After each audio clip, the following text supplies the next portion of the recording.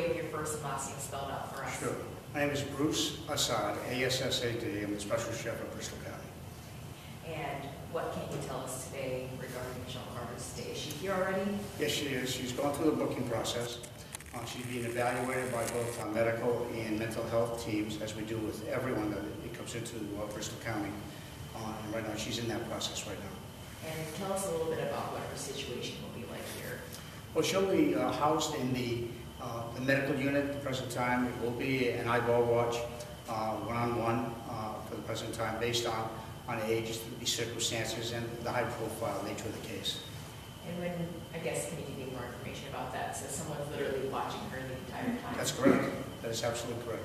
Uh, It's 24/7, and uh, basically, it- it'll go from there based on the presentation she makes with the, with respect to our medical and with our uh, health unit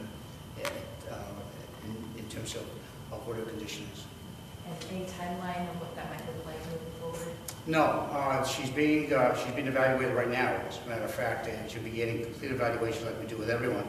Uh, at that point in time, they'll make a determination, but initially, she will be in the medical unit, and she will be on an eyeball watch uh, for, for added precaution. And what's a day look like for her? Will she be interacting with people here? Well, right now, she's going to be in the, uh, the eyeball watch, and she's going to be alone.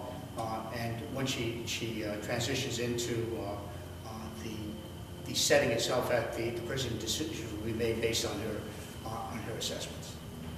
It is, of course, a high-profile case, and it's kind of been a while since it, I guess, first blew. What kind of things do you take into factor, you know, what kind of things do you factor when you think about stuff like this? Well, basically, she's treated as everyone else that comes into uh, to Bristol County. Uh, The assessments we're making right now, both uh, uh, medical as well as mental health, are done for everyone. So based on, on where she is and and the high-profile nature of the case, right now, the best situation is, at least initially, she'll be in the uh, eyeball watch, she'll be in the medical unit, and she'll be housed in the medical unit. After that, it depends on on, uh, where she is medically and and mentally. And do we think that the inmates who are here right now know who she is, know she's coming? Do they know anything? I I don't know, I can't answer that. Um, Do you know when she's eligible for parole?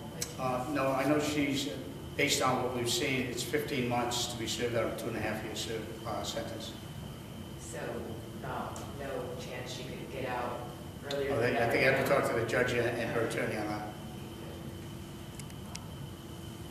What am I missing? Okay. Any other notes to Uh, That's really what I have. The, uh, that's not all we have. She just came in, uh, Yeah. just before you. Yeah. As a matter of fact, uh, matter of fact, you might have been uh, right with her when she came in. Um, let me just, before we go any further. We know what her day looks like. Uh, will her family be able to visit her at all? Right Once now? the, once the initial process is is completed, uh, she will have uh, visiting hours and so forth. Will it be restricted to family only, or with with her celebrity status? Are you expecting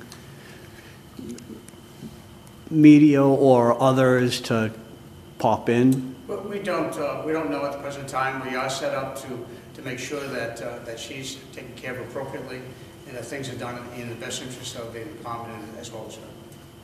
Do you know, um, how long the processing usually takes? Uh, just like the initial evaluation processing? It's going to be done today. Just Initial today. evaluation will be done today, yes. So then anytime after that, her family could come visit technically? Once, once she's cleared for that, sure. Just my last question. Sure. Internet use for her, anything like that? Um, That uh, I would not be able to comment on at the present time right now. Okay. Anything you want to add? No, no, the, uh, unfortunately, it's just right at the very beginning. I mean, you really did come in exactly the same time she did. And then she just came in, uh, in one of those vans, right? Correct, that's correct, yeah. Straight from Taunton. That's correct. I mean, she just, uh, if, if you didn't come in together, she just beat you in. Got it. Thank All right, you. Thank you. Okay.